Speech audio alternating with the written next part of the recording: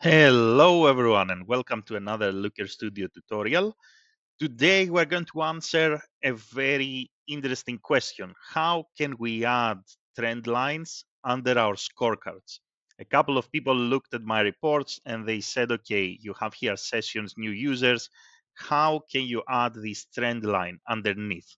It is extremely simple, but before we go there, please like the video, subscribe to the channel. It really helps me a lot. So thank you very much in advance. And off we go. So all you have to do is click on the scorecard. Then under the setup column on the right hand side, you find this option that is called Sparkline. So you click on the scorecard setup column, then you find Sparkline, then you click here to add the dimension, and you can add any date dimension, day, week, month. In my case, I'm going to add the date. So we select date, and that's it. We can do the same with the bounce rate. So we can add the sparkline, and let's try maybe a different uh, date dimension here. So let's say month.